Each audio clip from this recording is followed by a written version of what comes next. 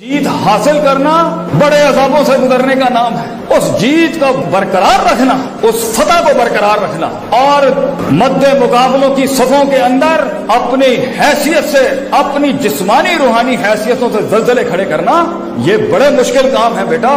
इसके लिए अल्लाह भी चाहिए, बगैर अल्लाह के नहीं पहुँच सकता तू।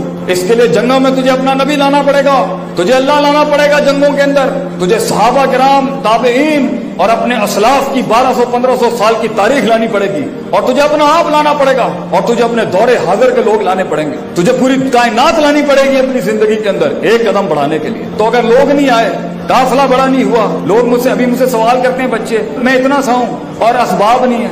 और बेटा, असबाब को तेरी ज़रूरत है, तुझे असबाब की ज़रूरत नहीं है। असबाब तुझे बुलाएँगे।